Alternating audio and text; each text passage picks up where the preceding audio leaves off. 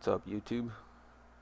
If you're watching this video you probably own a Corsair Vengeance K70 and you probably have a scroll lock problem. Bought this keyboard. A couple days later randomly had this light flashing on my keyboard. This one over here, one that's circled, scroll lock.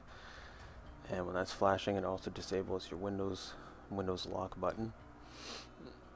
Um, you're lazy like most people and you don't want to read the user manual, your first thing you're going to do is go on YouTube or you're going to go on Google.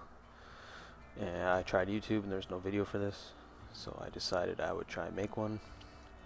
Hopefully it helps. There's a switch on the back of the keyboard right here. It uh, you switch it over to the far. If you're sitting in front of your keyboard, it would be the far left. Leave it there for five seconds. Switch it all the way back to the far right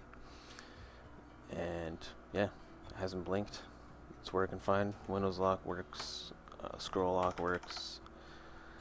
Everything's good to go. If this video helped you, then thumbs it up or say something.